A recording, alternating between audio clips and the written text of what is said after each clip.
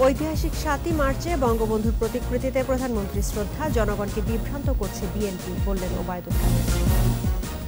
সাত মার্চে দেশজুড়ে নানা আয়োজন, পুষ্পার্ঘ অর্পণ, আলোচনা ও বঙ্গবন্ধুর ভাষণ প্রচার। এবং এক বছর বন্ধ হিলি ইমিগ্রেশন চেকপোস্ট, বিপাকে যাত্রী ও ব্যবসায়ীরা।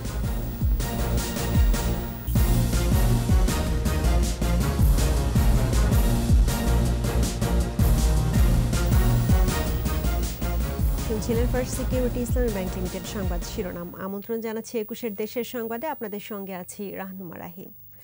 দর্শক, একুশে টেলিভিশনের সংবাদ একই সাথে সরাসরি দেখতে পাবেন আমাদের Facebook page W W W dot Facebook dot com slash Ekushey twenty four অনলাইনে ঐতিহাসিক সাতই মার্চে জাতির পিতা বঙ্গবন্ধু শেখ মুজিবুর রহমানের প্রতিকৃতিতে শ্রদ্ধা নিবেদন করেছেন আওয়ামী লীগ সভাপতি প্রধানমন্ত্রী শেখ হাসিনা।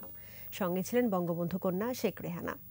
পরে দলের পক্ষে শ্রদ্ধা জানিয়ে আওয়ামী লীগ সাধারণ সম্পাদক ওবায়দুল কাদের বলেছেন, রাজনৈতিক চতুরতা করে জনগণকে বিভ্রান্ত করতেই বিএনপি সাতই মার্চ পালন করছে। বিস্তারিত জানাচ্ছেন আকবর হোসেন সুমন। জাতির পিতার ঐতিহাসিক সাতই মার্চের ভাষণের পঞ্চাশ বছর।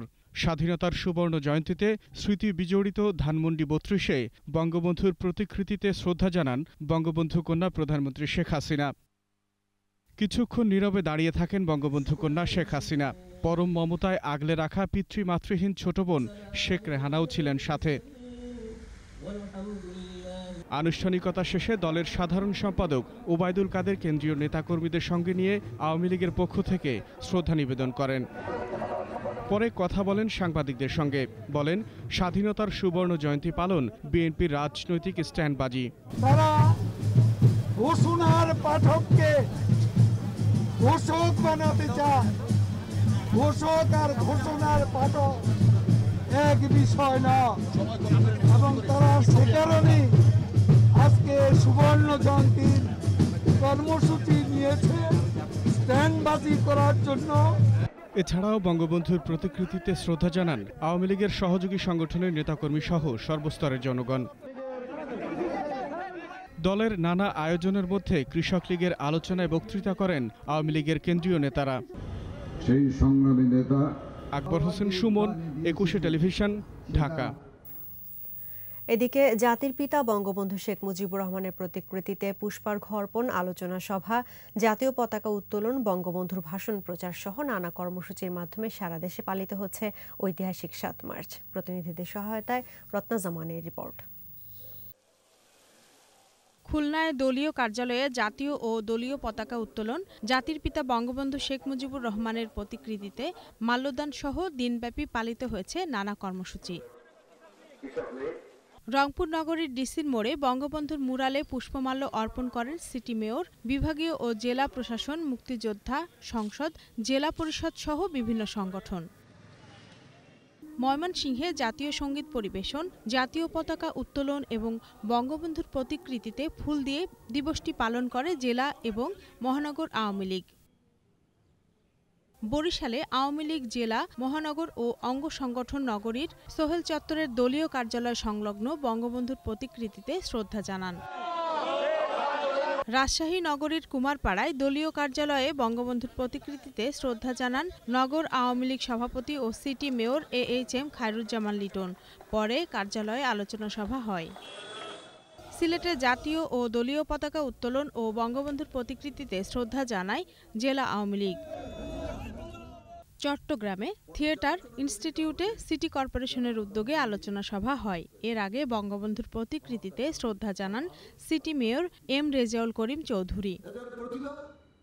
এছাড়া কক্সবাজার, গাজীপুর, বরগুনা, চুয়াডাঙ্গা, কুষ্টিয়া, জয়পুরহাট, দিনাজপুর, হবিগঞ্জ, নোয়াখালী, গাইবান্ধা, হিলি, ব্রাহ্মণবাড়িয়া, রাজবাড়ী, যশোর, নাটোর, মানিকগঞ্জ, সুনামগঞ্জ ও নেত্রকোনায় নানা কর্মসূচির মধ্য দিয়ে পালিত হয় ঐতিহাসিক সাতই মার্চ। রত্নজামান, একুশে টেলিভিশন। ধানের চারা দিয়ে তৈরি করা হয়েছে বঙ্গবন্ধুর প্রতিচ্ছবি। নাম শস্যচিত্রে বঙ্গবন্ধু। বিশ্বে প্রথমবারের মতো শস্যচিত্রের মাধ্যমে সর্ববৃহৎ এই ক্যানভাস আঁকা হলো বগুড়ার শেরপুর উপজেলার বালেন্দা গ্রামে, যা গিনেস বুকে রেকর্ডভুক্ত হতে চলেছে। এটিকে মুজিব বর্ষের সেরা আয়োজন বলে মনে করছে দেশবাসী। বগুড়া থেকে আবুল কালাম আজাদের রিপোর্ট, জানাচ্ছেন মাসুম আলিসা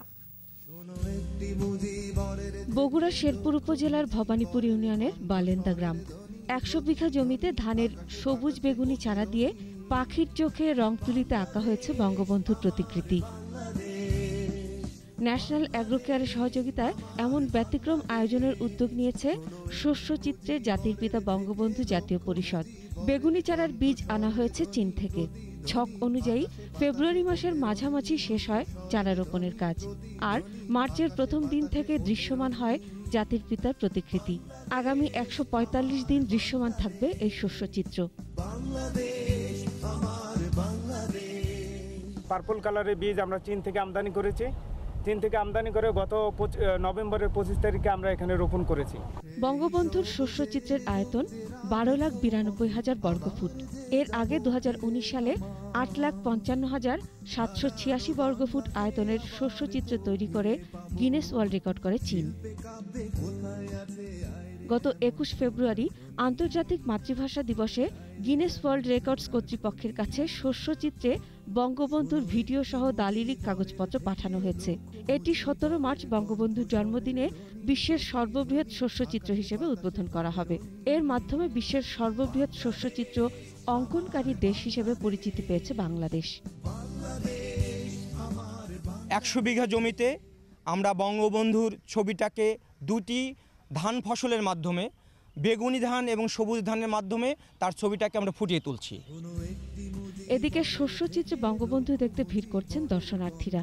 আর নিজ জেলার মাটিতে এমন আয়োজনে গর্বিত বগুড়াবাসী। শস্য খেতে বঙ্গবন্ধুর প্রতিচ্ছবি স্বীকৃতি পেলে আমরা বগুড়াবাসী গর্বিত। বঙ্গবন্ধু সারা জীবন চেয়েছেন বাংলাকে সোনার বাংলা হিসেবে গড়ে তোলার। আর আমরা লক্ষ্য করেছি এই সোনার ফসলের মাঝে বঙ্গবন্ধুকে সেই সোনার বাংলার রূপ তাকে আমরা দেখতে পেয়েছি। এর আগে গত উনত্রিশ জানুয়ারি প্রথম চারা রোপণের মধ্য দিয়ে আনুষ্ঠানিকভাবে উদ্বোধন করা হয় শস্যচিত্রে বঙ্গবন্ধু প্রতিচ্ছবির কার্যক্রম। মাসুম আলিসা একুশে টেলিভিশন। কোভিড নাইন্টিনে চব্বিশ ঘন্টায় এগারো জনের মৃত্যু হয়েছে। মৃতের সংখ্যা বেড়ে আট হাজার চারশো বাষট্টি। দৈনিক সংক্রমণের হার চার দশমিক তিন শূন্য শতাংশ। স্বাস্থ্য অধিদপ্তরের তথ্য অনুযায়ী দেশে দুশো উনিশটি ল্যাবে চোদ্দ হাজার বিরানব্বই জনের নমুনা পরীক্ষায় করোনা শনাক্তের সংখ্যা ছশো ছয়। মোট শনাক্ত পাঁচ লাখ পঞ্চাশ হাজার তিনশো ত্রিশ। নতুন এক হাজার সাঁত্রিশ জন সহ সুস্থ হয়েছে পাঁচ লাখ তিন হাজার তিন। এ পর্যন্ত শনাক্ত হার তেরো দশমিক দুই সাত শতাংশ ও সুস্থতার হার একানব্বই দশমিক চার শূন্য শতাংশ। করোনা ভ্যাকসিনের জন্য নিবন্ধন করেছে পঞ্চাশ লাখ তিন হাজার দুশো আটচল্লিশ জন।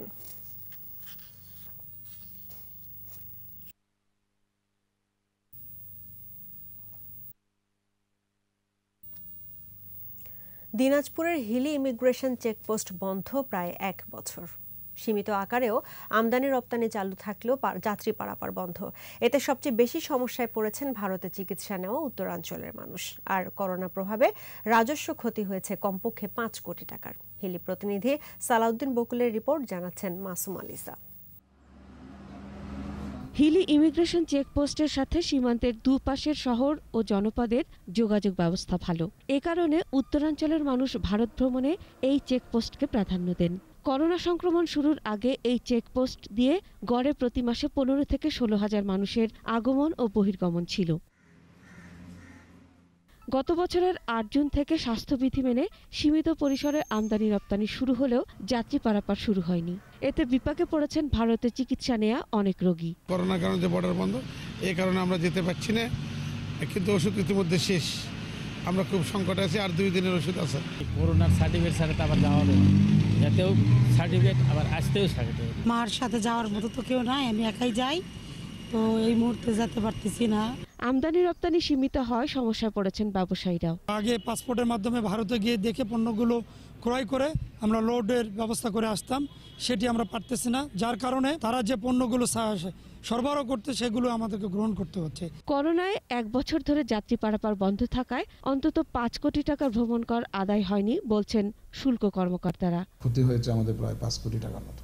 আমরা আশা করছি অচিরেই এই যাত্রী পারাপার আবার শুরু হয়ে যাবে এবং আমরা ভ্রমণ করাবার পাবো এবং রাজস্বের খাতে এটা বৃদ্ধি পাবে।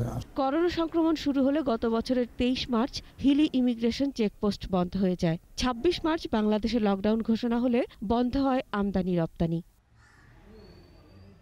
মাসুম আলিসা একুশে টেলিভিশন। নিচ্ছি বিরতি। নো মাস্ক নো সার্ভিস বিধি মেনে চলুন, সুস্থ থাকুন। যখন ফিরছি, তখন অন্যান্য খবরের সঙ্গে আরও থাকবে। চট্টগ্রাম কারাগার থেকে বন্দি নিখোঁজের ঘটনায় জেলার ও ডেপুটি জেলার প্রত্যাহার, দুই কারারক্ষী বরখাস্ত।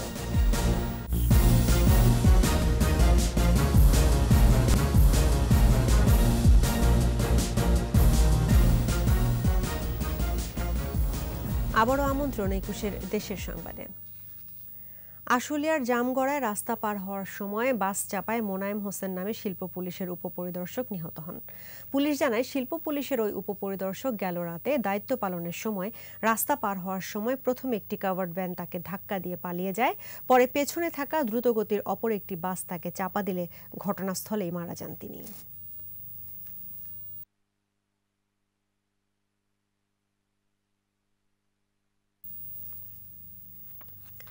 মোংলা বন্দরের পশুর নদে ডুবে যাওয়ার সাত দিন পর বিআইডব্লিউটিসির কার্গো জাহাজ বিবি ওয়ান ওয়ান ফোর এইট থেকে কয়লা উত্তোলন শুরু হয়েছে।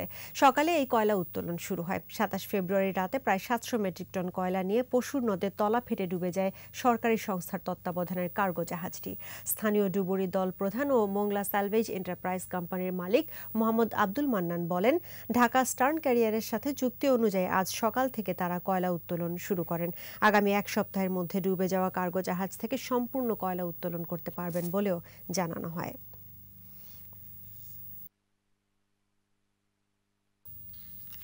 ব্রাহ্মণবাড়িয়ায় কসবার, কসবায় আইনমন্ত্রীর অনুষ্ঠানে দুপক্ষের হামলা, ভাঙচুর ও অগ্নিসংযোগের ঘটনায় মামলা হয়েছে। এই ঘটনায় ছজনকে গ্রেফতার করা হয়েছে। শনিবার পুলিশ বাদী হয়ে আঠাশ জনের নাম উল্লেখ সহ অজ্ঞাত আড়াইশো জনকে আসামি করে মামলা করে। গ্রেফতার ছয়জন হলেন রাসেল, সুমন, হৃদয় খান, সালাউদ্দিন, রবিন ও কাইয়ুম। এদের সবার বাড়ি তাতইয়া গ্রামে। কসবা থানার ভারপ্রাপ্ত কর্মকর্তা মোহাম্মদ আলমগীর ভূঁইয়া জানান, সংঘর্ষের ভিডিও ফুটেজ থেকে গ্রেফতারকৃতদের শনাক্ত করা হয়েছে। বাকি আসামিদের গ্রেফতারে অভিযান অব্যাহত আছে। গত পাঁচ মার্চ জেলায় একটি অনুষ্ঠানে আইনমন্ত্রীর উপস্থিতিতে দুই মেয়র প্রার্থী সমর্থকদের মধ্যে সংঘর্ষ হয়।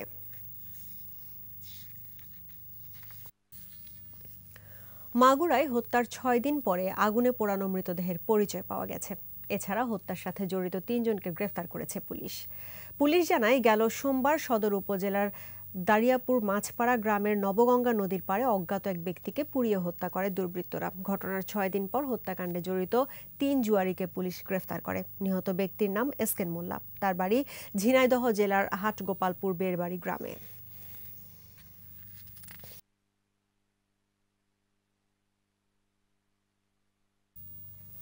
চুয়াডাঙ্গায় শুরু হয়েছে মাসব্যাপী বেসিক শিল্প মেলা মেলা উদ্বোধন করেন চুয়াডাঙ্গা জেলা প্রশাসক নজরুল ইসলাম সরকার। শহরের টাউন ফুটবল মাঠে বিসিক জেলা কার্যালয়ে আয়োজিত এ মেলায় হস্তশিল্প, পোশাক, আসবাবপত্র সহ বিভিন্ন ধরনের দেশীয় পণ্যের চুরাশিটি স্টল রয়েছে।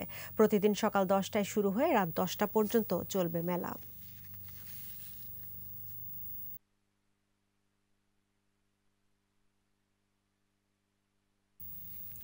গাইবান্ধার মরহুম ভাষা সৈনিক কার্জন আলী স্মৃতি পদক ও সম্মাননা পেয়েছেন গাইবান্ধার প্রথম নারী সাংবাদিক ও একুশে টেলিভিশনের গাইবান্ধা প্রতিনিধি আফরোজা লুনা।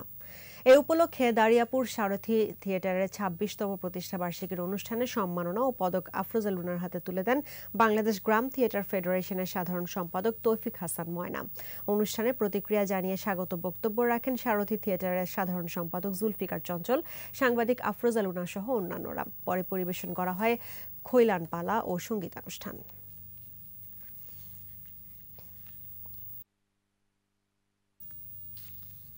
এবার চট্টগ্রাম সংবাদ।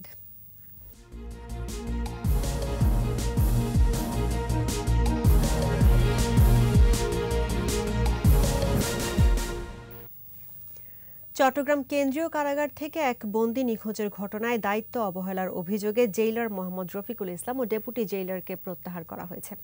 এছাড়া কারারক্ষী নাজিম উদ্দিন ও সহকারী কারারক্ষী ইউনুস মিয়াকে সাময়িক বরখাস্ত করা হয়েছে। সহকারী কারারক্ষী কামাল হায়দারের বিরুদ্ধে বিভাগীয় মামলা করা হয়েছে। অন্যদিকে বন্দি নিখোঁজের ঘটনায় খুলনা বিভাগীয় ডিআইজি প্রিজন সগির মিয়াকে প্রধান করে তিন সদস্যের তদন্ত কমিটি গঠন করা হয়েছে। শনিবার সকালে চট্টগ্রাম কেন্দ্রীয় কারাগার থেকে নিখোঁজ হন ফরহাদ হোসেন রুবেল নামে হত্যা মামলার এক আসামি। নিখোঁজ রুবেল গত নয় ফেব্রুয়ারি নগরীর সদরঘাট থানার একটি হত্যা মামলায় গ্রেফতার হয়ে কারাগারে আসেন কক্সবাজার শহরের কলাতলি ডলফিন মোড়ে সিমেন্ট বোঝাই ট্রাক চাপা পড়ে নারী সহ দুই পথচারী নিহত হয়েছে। এ সময় আহত হয় আরও দশজন। পুলিশ জানায়, শনিবার রাতে কক্সবাজার মুখী সিমেন্ট বোঝাই একটি ট্রাক নিয়ন্ত্রণ হারিয়ে পথচারীকে চাপা দেয়।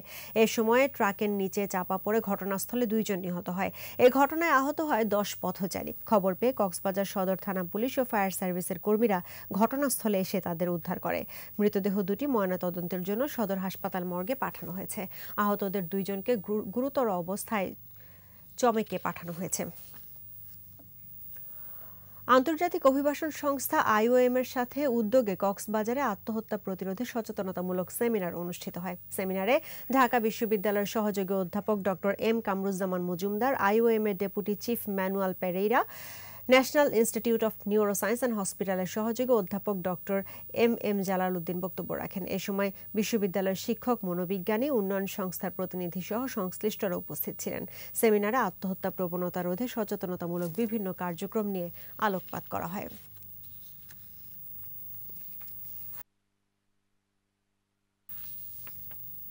শেষ করছি একুশের দেশের সংবাদ, তবে যাবার আগে First Security Islami Bank Limited সংবাদ শিরোনামগুলো জানাব আরও একবার। ঐতিহাসিক সাতই মার্চে বঙ্গবন্ধুর প্রতিকৃতিতে প্রধানমন্ত্রীর শ্রদ্ধা, জনগণকে বিভ্রান্ত করছে বিএনপি, বললেন ওবায়দুল কাদের। সাত মার্চে দেশ জুড়ে নানা আয়োজন পুষ্পার্ঘ অর্পণ, আলোচনা ও বঙ্গবন্ধুর ভাষণ প্রচার। এবং এক বছর বন্ধ হিলি ইমিগ্রেশন চেকপোস্ট বিপাকে যাত্রী ও ব্যবসায়ীরা।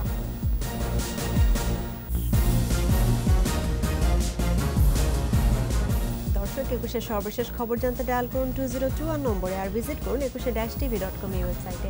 এছাড়া ফেসবুকে লগ ইন করতে পারেন Facebook dot com slash Ekushey twenty four অনলাইনে এতক্ষণ সঙ্গে থাকার জন্য ধন্যবাদ। আমাদের পরবর্তী সংবাদ সন্ধ্যা সাতটায় দেখার আমন্ত্রণ রইল। স্বাস্থ্যবিধি মেনে চলুন, সুস্থ থাকুন, একুশের সঙ্গেই থাকুন।